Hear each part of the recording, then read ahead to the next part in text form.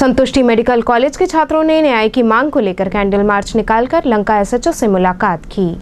सुंदरपुर स्थित संतुष्टि medical college के छात्रों का न्याय की मांग को लेकर धरना प्रदर्शन जारी है। छात्रों का कहना है कि कॉलेज प्रशासन द्वारा उनसे फ़ीस तो ले ली गई, लेकिन आज तक एक भी परीक्षा नहीं हुई और कॉलेज की मान्यता रद्द होने के बावजूद ये बात छुपाकर एडमिशन लिए गए। अब जब हम छात्रों का भविष्य अंधकार में हो रहा है तो हमने न्याय की मांग को लेकर आठ महीने पूर्व इस बात को उठाया और धरने पर बैठे। तमाम धमकियों के बाद 26 छात्रों पर फर्जी मुकदमा दर्ज कर दिया गया। बाद में इसे हटा दिया गया, लेकिन हम छात्रों को अब तक न्याय नहीं मिला। वहीं इस दौरान छात्र कैंडल मार्च निकालते हुए लंका एसएचओ से मुलाकात करने पहुँचे। लंका थाने पहुँचे छात्रों का कहना था कि लंका एसएचओ ने ये साफ़ कहा है कि छात्रों की शिकायत दर्ज नहीं होगी। वहीं इस दौरान वहाँ कॉलेज प्रशासन के लोग भी पहुँचे। छात्रों का कहना है कि उन्होंने ये कहा है कि वो छात्रों की किसी भी प्रकार से मदद नहीं करेंगे।